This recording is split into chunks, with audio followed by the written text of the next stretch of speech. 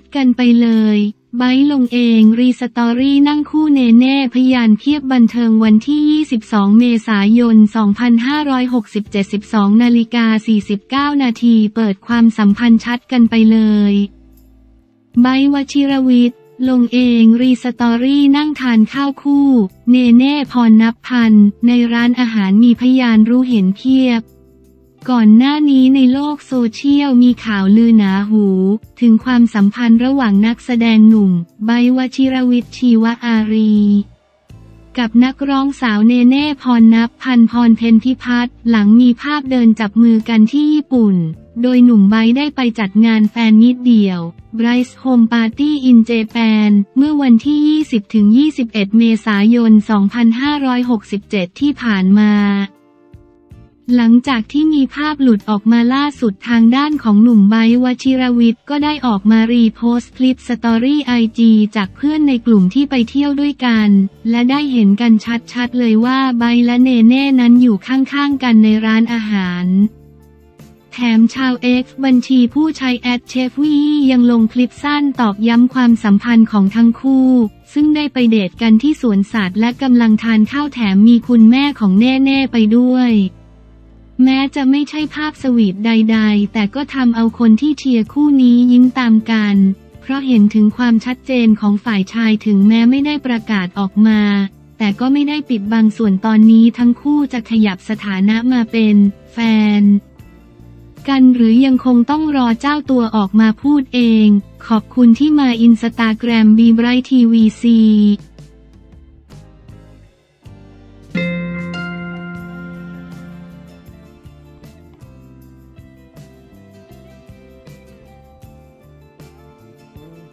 นายกเศรษฐาต้อนรับประธาน F1 ถกจัดแข่งขันในประเทศไทยกีฬาวันที่ 22 เมษายน 2567 16นาฬิกา41 นาทีนายกเศรษฐาต้อนรับสเตฟาโน โดเมนิคาลีประธานกรรมการบริหารฟอร์มูล่าวัน F1 เพื่อหารือร่วมกันเรื่องการจัดแข่งขัน F1 ในประเทศไทยเมื่อวันที่ 22 เมษายนที่ห้องสีม่วงตึกไทยคู่ฟ้าทำเนียบรัฐบาลนายเศรษฐา ทวีสินนายกรัฐมนตรีต้อนรับสเตฟาโนโดเมนิคาลีประธานกรรมการบริหารฟอร์มูล่าวัน F1 เพื่อหารือร่วมกันเรื่องการจัดแข่งขัน F1 ในประเทศไทยหลังล่าสุดโดเมนิคาลี ได้เดินทางมาสำรวจความเป็นไปได้ในการจัดการแข่งขันในไทย และเข้าพบกับนายกรัฐมนตรีตามคำเชิญสำหรับก่อนหน้านี้นายกเศรษฐาได้เดินทางไปหารือเรื่องการจัดการแข่งขันรถสูตรหนึ่งหรือฟอร์มูล่าวันในประเทศไทยระหว่างการทัวร์ยุโรปที่ประเทศฝรั่งเศสเมื่อวันที่ 11 มีนาคมที่ผ่านมา ซึ่งในตอนนั้นประธาน F1 แสดงความสนใจประเทศไทย และหารือถึงรายละเอียดความเป็นไปได้ของสถานที่ในการจัดสตรีทเรส ซึ่งนายกรัฐมนตรียืนยันความพร้อมของไทย รวมทั้งเชิญให้บริษัทเยือนไทยเพื่อสำรวจความเป็นไปได้ในการขยายการจัดการแข่งขันฟอร์มูล่าวันในประเทศไทยโดยประธาน F1 กล่าวว่า ทางบริษัทตื่นเต้นในการเดินทางเยือนไทยครั้งนี้ หวังว่าทั้งสองฝ่ายจะทำงานร่วมกัน ช่วยกันบรรลุเป้าหมายที่ได้กำหนดไว้ และเชื่อว่าการทำงานร่วมกันครั้งนี้จะเป็นประโยชน์ร่วมกัน ส่งผลดีถึงเศรษฐกิจชุมชน เยาวชนซึ่งเป็นส่วนที่รัฐบาลไทยก็ให้ความสำคัญเช่นกัน ในโอกาสนี้นายกรัฐมนตรียืนยันว่าไทยพร้อมเป็นเจ้าภาพจัดฟอร์มูล่าวันที่กรุงเทพมหานคร ซึ่งถือเป็นส่วนหนึ่งของนโยบายของรัฐบาลสร้างโอกาส ขยายศักยภาพของประเทศในการจัดกิจกรรมระดับนานาชาติโดยนายกเศรษฐาได้โพสต์ข้อความลงในเฟซบุ๊กส่วนตัวด้วยว่า ไทยมีศักยภาพพร้อมเป็นเจ้าภาพจัดฟอร์มูล่าวันที่กรุงเทพมหานคร หากสำเร็จผมมั่นใจว่าบ้านเราจะเป็นหนึ่งในเจ้าภาพจัดการแข่งขันที่สร้างความประทับใจได้มากที่สุด ด้วยศักยภาพสิ่งอำนวยความสะดวกและมิตรไมตรีของคนไทยครับ วันนี้ผมได้หารือร่วมสเตฟานโนโดเมนิคาลี ประธานกรรมการบริหารบริษัทฟอร์มูล่าวันกรุ๊ปที่ให้เกียรติเดินทางมาเยือนไทยตามคำเชิญของรัฐบาล เพื่อศึกษาโอกาสสำรวจความเป็นไปได้ในการใช้ไทยเป็น street race หรือสนามจัดการแข่งขัน F1 ผมหวังเป็นอย่างยิ่งว่าการเดินทางมาไทยเพื่อสำรวจความเป็นไปได้ในการขยายการจัดการแข่งขันฟอร์มูล่าวัน ในประเทศไทยครั้งนี้จะทำให้ทางบริษัทได้รับข้อมูลเชิงลึก และได้สำรวจศึกษาเส้นทางที่แสดงถึงศักยภาพของไทยในการเป็นเจ้าภาพจัดการแข่งขันฟอร์มูล่าวัน ซึ่งรัฐบาลไทยพร้อมอำนวยความสะดวกอย่างเต็มที่ครับ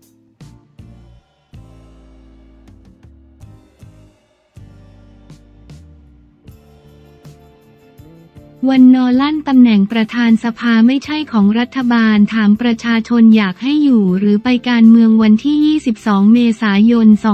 2567 13นาฬิกา31 นาทีวันนอลั่นตำแหน่งประธานรัฐสภาไม่ได้เป็นของรัฐบาลไม่ใช่มานั่งกันง่ายๆ ต้องเป็นสอสอไม่ใช่คนนอกย้อนถามประชาชนอยากให้อยู่หรือไปเมื่อเวลา 10 นาฬิกาวันที่ 22 เมษายน 2567 ที่รัฐสภานายวันมูฮัมหมัด นอมัทา ประธานรัฐสภาและประธานสภาผู้แทนราษฎร พร้อมด้วยพันตำรวจเอกทวีสอดสองรัฐมนตรีว่าการกระทรวงยุติธรรมในฐานะหัวหน้าพักประชาชาติให้การต้อนรับสมาชิกพักประชาชาติ จากกรุงเทพมหานครยะลาปัตตานี นราธิวาสและนนทบุรีจำนวน 400 คน เข้าเยี่ยมคารวะและเยี่ยมชมรัฐสภาโดยนายวันมูฮัมหมัดนอกล่าวให้โอวาตอนหนึ่งว่าประชาธิปไตยเป็นของประชาชนเพื่อประชาชนประชาธิปไตยมาจากการเลือกตั้ง การเลือกตั้งมาจากพักการเมืองพักการเมืองมาจากสมาชิกพักสมาชิกก็มีหน้าที่หาเสียงสนับสนุนพักให้มีพลังในการต่อสู้